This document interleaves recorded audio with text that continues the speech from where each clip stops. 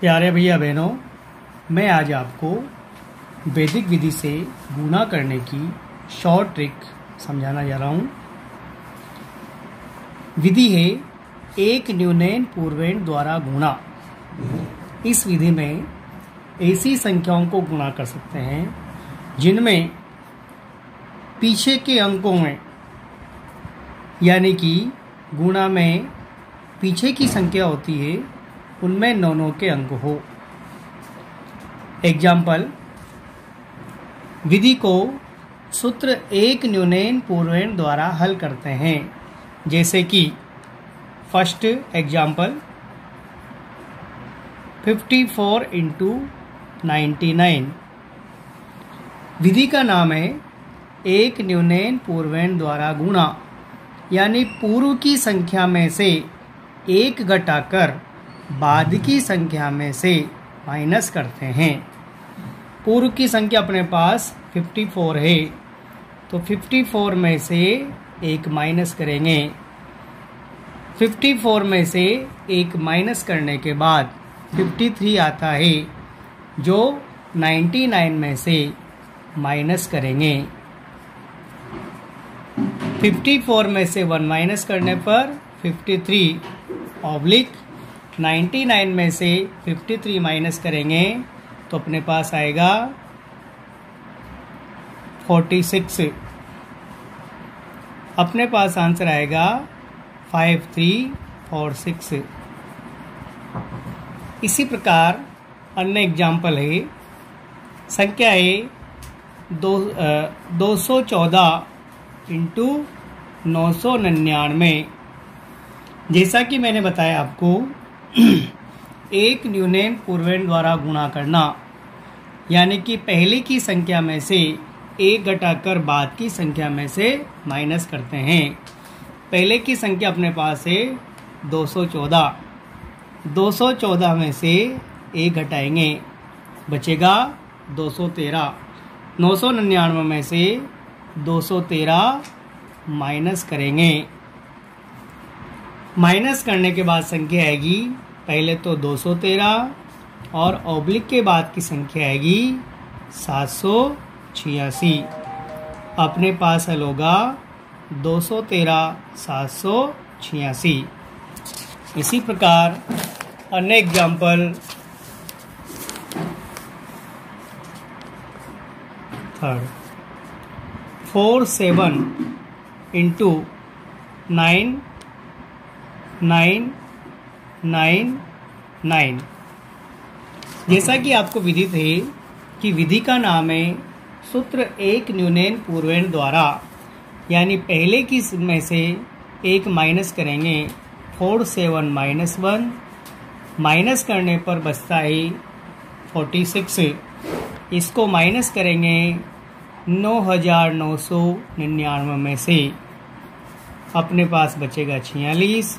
और इसको माइनस करेंगे छियालीस को तो अपने पास बचेगा थ्री फाइव नाइन नाइन तो four six nine nine five three ये आंसर आएगा। ये तो हो गई पीछे की संख्या। यदि आगे वाली से बड़ी है, तब की विधि। लेकिन यदि बाद की संख्या आगे वाली से छोटी है तो इसे कैसे करेंगे? इसके भी मैं आपको तीन या चार एग्ज़ाम्पल समझाता हूँ। दो या तीन। Example four seventy three into nine जैसे कि पीछे की संख्या नौ है, आगे की तिहत्तर है तो नौ तिहत्तर से छोटा है। इसको कैसे करेंगे? विधि का नाम है सूत्र एक न्यूनयन पूर्वेण, यानी पहले की में से एक घटाकर बाद की में से उसे घटाते हैं। तो पहले की संख्या है सेवेंटी थ्री। इसमें से एक माइनस करेंगे। एक माइनस करने के बाद बचेगा सेवेंटी टू। सेवेंटी टू को नौ में से घटाएँगे तो नौ माइनस सेवेंटी टू। लेकिन नौ में से सेवेंटी टू घटेगा नहीं, माइनस की संख्या आएगी। इसलिए इसको हम कैसे लिखेंगे? 73 में से एक घटाने पर बचेगा 72 और यहाँ पर ओब्लिक के बाद में है नाइन माइनस सेवेंटी टू। इसको हम कैसे लिखेंगे? नो को सेवेंटी आगे वाले सेवेंटी टू के साथ लिखेंगे तो सात सौ उनतीस माइनस सेवेंटी टू। सात सौ उनतीस में से जब सेवेंटी टू को घटाएँगे तो छः सौ सत्तावन प्राप्त होगा। ये इसका आंसर होगा। इसी प्रकार अन्य उदाहरण है four six seven into ninety nine. यहाँ भी बाद की संख्या पहले वाली से छोटी है और बाद की संख्या में नौ नौ अंक आ रहे हैं। यहाँ भी विधि वही काम में लेंगे, सूत्र एक न्यूनैन पूर्वेण। यानी पहले की संख्या में से एक घटाकर बाद की संख्या में से घटाते हैं।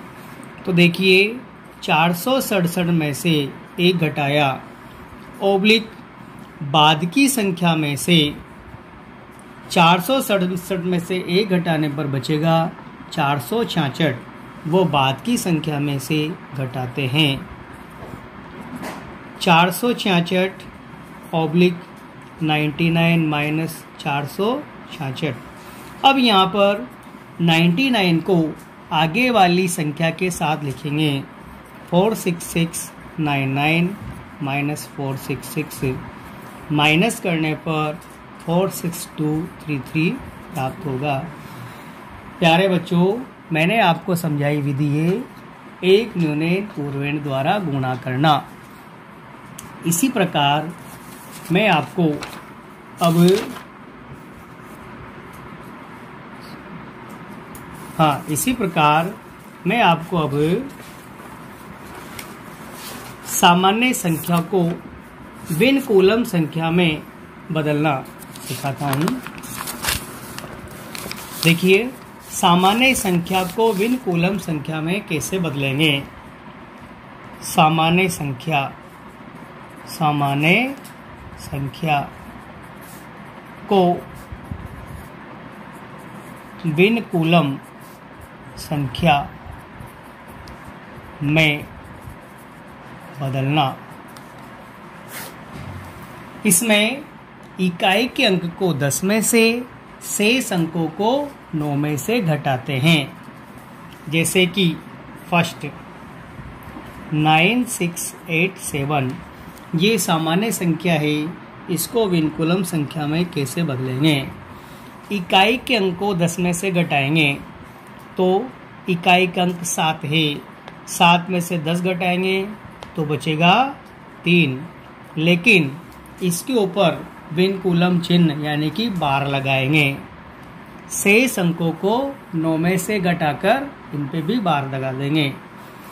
आठ को नौ में से घटाएँगे तो एक के ऊपर बार का चिन्ह लगेगा। ऐसे ही छः में, नौ में से छः घटाएँगे तो यहाँ भी तीन के ऊपर लगेगा। नौ में से नौ घटाएँगे तो ज़ीरो। लेकिन सामान्य संख्या को विनकुलम में बदलने के लिए जो सबसे फ़र्स्ट अंक आता है, यानी नौ नौ में से नौ घटाने पर ज़ीरो आया। लेकिन इसके पहले कोई अंक नहीं हो तो ज़ीरो लिखकर उस पर एकाधिक का चिन्ह लगाते हैं। तो तीन, एक, तीन, ज़ीरो, एकाधिक का मतलब ज़ीरो से एक अधिक यानी कि एक आएगा। ये इसका आंसर होगा। इसी प्रकार सिक्स, फाइव, सेवन, एट, इसमें भी वही तरीका अपनाएँगे। इकाई के अंक को दस में से और शेष अंकों को नौ में से घटाकर। इकाई अंक आठ है। आठ को दस में से घटाएँगे, दो। सात को नौ में से घटाएँगे, दो। पाँच को नौ में से घटाएँगे, चार। छः को नौ में से घटाएँगे, तीन। अब इसके पहले ज़ीरो लिखकर इसके ऊपर एक अधिक चिन्ह लगा देंगे। इसका मतलब ज़ीरो से एक अधिक। एक, तीन, चार, दो दो। सबके ऊपर बाढ़ लगा देंगे। इसी प्रकार, अब मैं आपको विन कूलम को सामान्य संख्या में विन कूलम को सामान्य संख्या में बदलना। इसका पहला एग्ज़ाम्पल देखिए। थ्री टू वन यानी कि इसमें भी नियम वही काम आएगा। इकाई के अंक को दस में से और शेष अंकों को नौ में से घटाएँगे। बिना बार वाले लास्ट के अंक में से एक न्यून करेंगे। जैसे कि देखो आप, यहाँ पर वन के ऊपर टू के ऊपर बार चिल लगा है। तो यहाँ पर वन को टेन में से घटाएँगे। तो यहाँ बचेगा नाइन दो को नौ में से घटाएँगे, यहाँ बचेगा सेवन लेकिन तीन में बार नहीं लगा है, इसलिए इसमें एक न्यूनियन का चिन्ह लगाएँगे। नौ, सात और दो. इसके बाद यहाँ पर दूसरा एग्ज़ाम्पल है दो फोर थ्री टू यहाँ भी वही नियम काम में लेंगे। इसमें सूत्र नवम चरत दशक ऐसा नियम काम में लेते हैं। इकाई का अंक दस में से शेष अंकों को नौ में से। इकाई का अंक है दो। दो को दस में से घटाएँगे तो आठ बचेगा। तीन को नौ में से घटाएँगे तो छः बचेगा। चार को नौ में से घटाएँगे तो यहाँ पाँच बचेगा। लेकिन दो के नीचे एक न्यूनियन का चिन्ह लगा देंगे। तो आठ छ पाँच, एक। इस प्रकार से हमें सामान्य संख्या को विनकुलम में और विनकुलम संख्या को सामान्य संख्या में बदल सकते हैं।